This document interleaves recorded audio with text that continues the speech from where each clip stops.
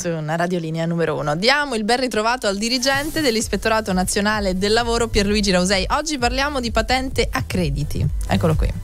Ben ritrovato. Ben Francesca e ben trovati ai radioascoltatori. Parliamo di patente a crediti. Ne parliamo perché in questo fine settimana il governo ha ritenuto di dare attuazione a un principio normativo già eh, introdotto dal decreto 19 del 2024 nella scorsa primavera.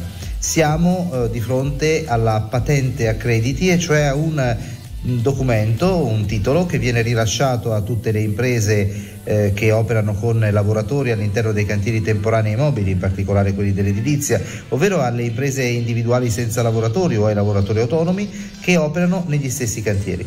Dal 1 di ottobre 2024 nessuno, impresa o lavoratore, potrà lavorare all'interno di queste strutture senza il possesso di questo documento. Peraltro un documento di cui dovrà mantenersi la validità di crediti, nel senso che il documento viene rilasciato con 30 crediti iniziali, ma se il documento scende sotto i 15 crediti non è più possibile lavorare, i crediti vanno reintegrati.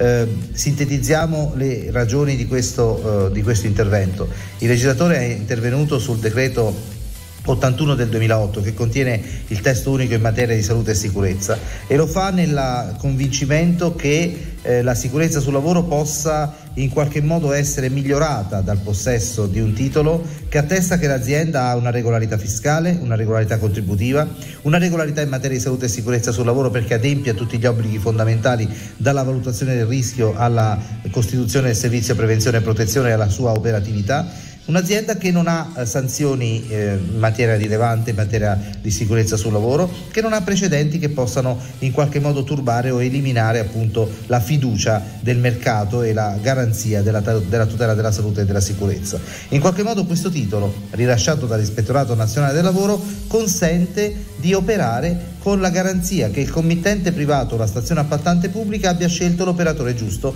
quindi il committente o il subappaltatore abbia scelto eh, il soggetto che in qualche modo sia correttamente presente in cantiere.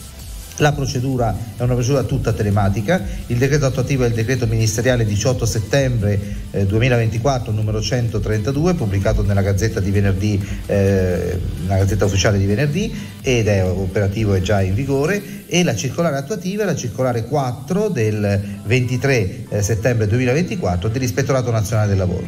Si entrerà nel portale nazionale del lavoro eh, dell'Ispettorato Nazionale del Lavoro a partire dal 1 di ottobre eh, potranno essere rilasciate le patenti ai soggetti che hanno i requisiti che abbiamo accennato, e cioè l'iscrizione alla Camera di Commercio, l'adempimento degli obblighi in materia formativa per i lavoratori, l'adempimento in obbligo di valutazione dei rischi, la titolarità del documento unico di regolarità contributiva, la titolarità della congruità fiscale, della certificazione di regolarità fiscale e la designazione e l'operatività del responsabile del servizio protezione e prevenzione.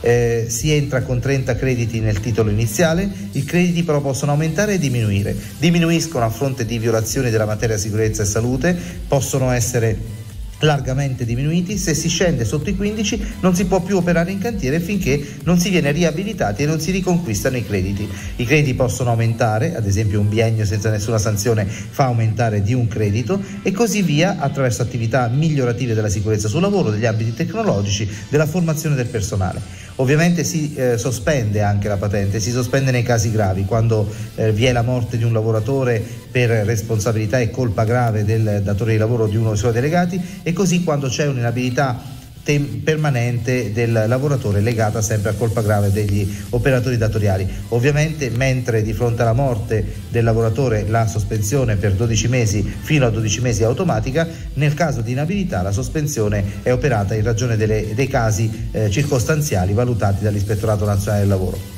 Contro i provvedimenti di sospensione della patente si potrà fare ricorso alla direzione interregionale eh, del lavoro dell'Ispettorato Nazionale del Lavoro e su questo provvedimento che verrà rilasciato a modalità telematica sul portale dell'Ispettorato Nazionale del Lavoro si giocheranno le sorti della regolarità delle imprese nei cantieri edili. La speranza, la fiducia dell'Ispettorato Nazionale del Lavoro e del Ministero del Lavoro è quella di trovare in azienda eh, lavoratori perfettamente regolari e in piena tutela della salute e sicurezza, che quindi nei cantieri edili possa elevarsi la qualità della tutela per aumentare anche la possibilità di una garanzia di salute e sicurezza, il che vorrebbe dire finalmente cominciare ad abbassare il livello di guardia degli infortuni sul lavoro, almeno in questo settore. Una patente a crediti raccontata dal dirigente dell'Ispettorato Nazionale del Lavoro Pierluigi Rausei, che io ringrazio moltissimo e con la sua rubrica Parole di lavoro ci riaggiorniamo per martedì prossimo.